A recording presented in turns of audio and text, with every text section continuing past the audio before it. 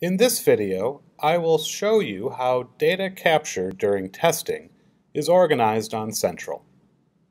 I will show you how to generate reports, access notes, and produce the item level scores. I start on the Assess app on my iPad, and here I see a completed test. Tapping the Results tab, I see scores, and tapping the bar graph to the right reveals additional information. I can also expand these sections here. All of this data is found on Central, with the exception of audio files. Those only exist within the Assess app and are deleted upon removal from the app. The system backs up data regularly during use, but if you tested offline and you don't see it on Central, tap the Sync button when you are online and you'll be all set. Now, let's look at the website and see how this data is organized. The dashboard, summarizing my recent testing, shows the test that we just saw on the Assess app. I can access this same data from within the Clients tab or the Assessments tab. Within the Clients tab, I see my clients and clicking their name brings me to their profile with the tests appearing down here. Within the Assessments tab, I see an expanded list of testing activity as I scroll down screen. So I will find the same assessment session represented in three areas, the Dashboard tab, Clients tab, and the Assessments tab three roads leading to the same destination, which is this.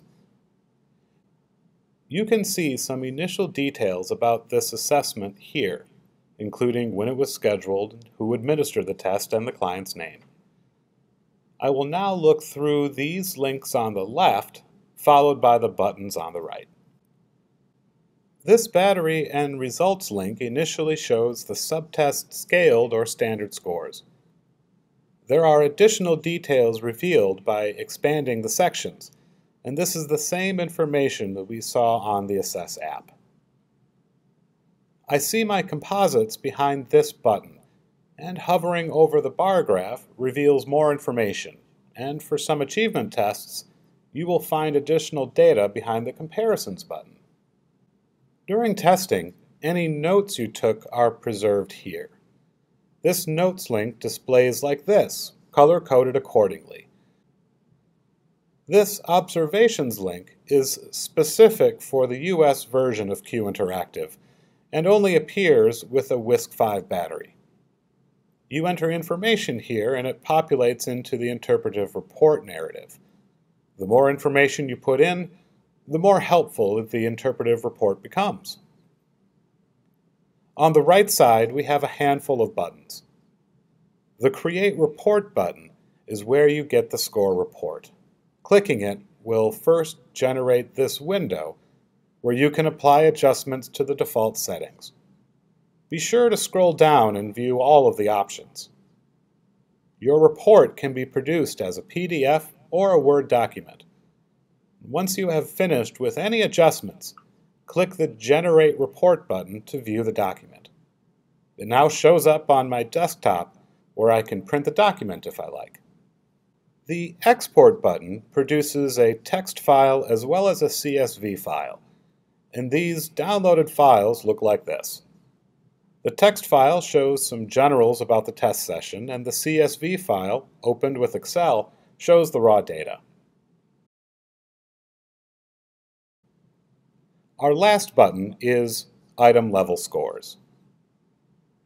Item level scores provide item stimuli, scores, uh, verbatim responses, and contextual events for each subtest in your battery.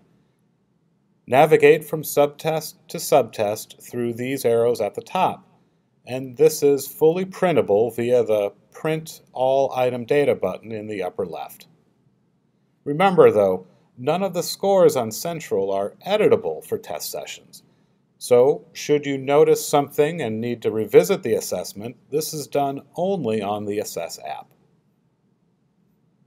Let's go back there now, and my test is still here. You remove test sessions by selecting it from the left and tapping the Remove button from the Interview tab. If you have many test sessions, you can bulk remove through the Manage Assessments link up here. Either way, removing assessments from the Assess app produces this message. All data backs up again to Central and audio recordings are destroyed. Once done, that data is only to be found on Central. Thank you.